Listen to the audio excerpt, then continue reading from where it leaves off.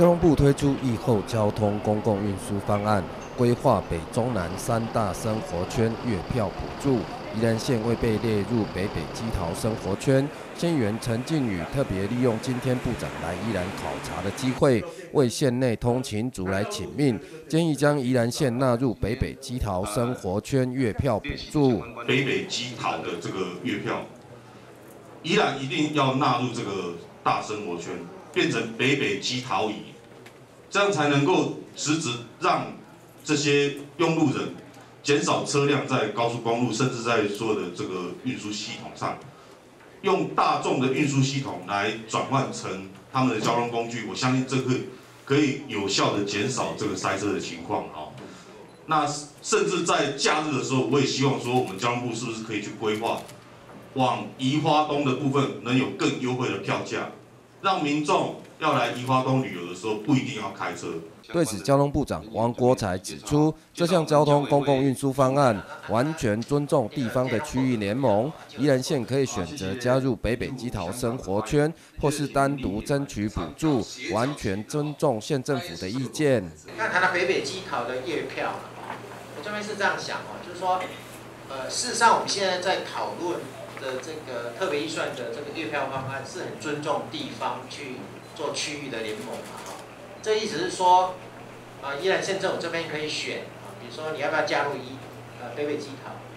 那但是这个部分必须跟卑北基桃四个县市讨论一下，要不要加入它的一二零的月票。另外一个就是自己做宜兰县的月票，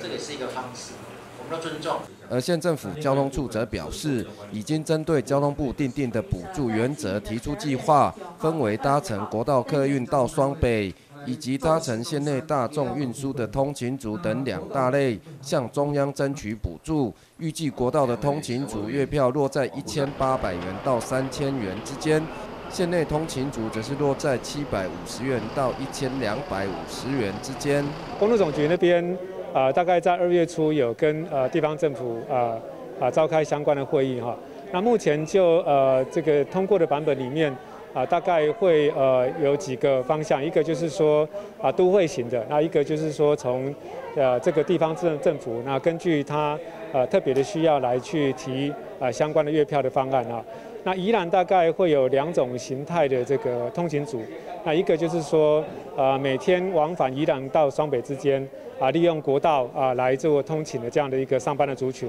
那另外一个是县内的这个啊，包括通勤跟通学的这个族群哈。那现在县政府提的方案啊是有两个方案，包括这个。啊，往新往双北的这个所谓的跨城际型的月票，那以及这个县内的两种方案啊，县政府都有向啊交通部这边来提案哈。那目的是呃通盘的呃全面的来照顾啊县内的这个通行组。依然新闻记者赖福新采访报道。